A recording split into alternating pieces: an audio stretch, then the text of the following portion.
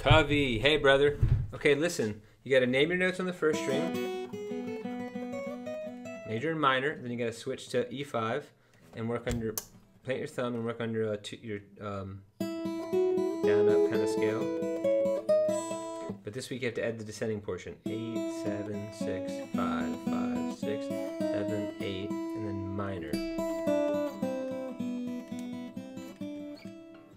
Your scales, you're going to add octave scales for the major pentatonics. That means you slide two to four and then hammer on two to four like this. A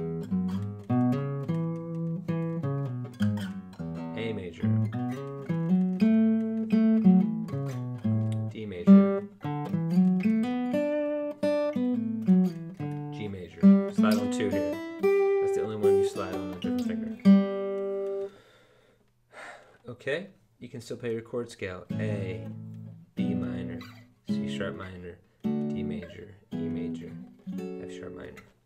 I'm going to remind you that in Roxanne, this is a G minor. The highest note is the root G. This is a D minor, back to G minor. This is a C minor. Because it's an A minor shape, moved up to A, A sharp, B, C. So you have G minor, D minor, G minor, C minor.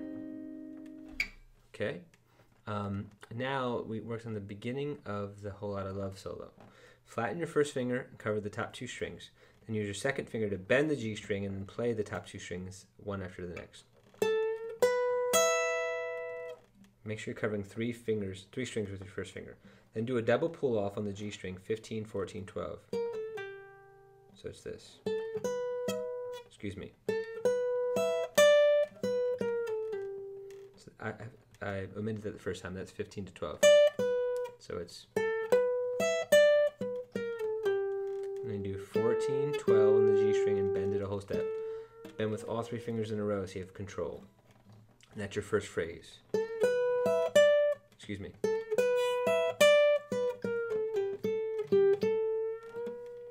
Then you go down to open position, slide with your third finger on the G string, just like your octave scale, um, two to four, play the B string at the third fret. Now do a double pull off, four to open on the G. Then a pull off two to open on the G, plus the open G string.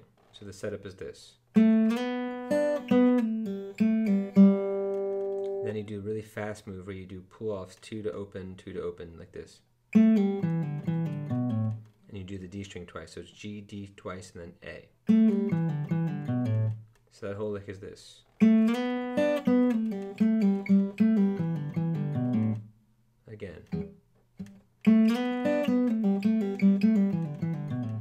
You can play the two open E basses before each of these, like this. And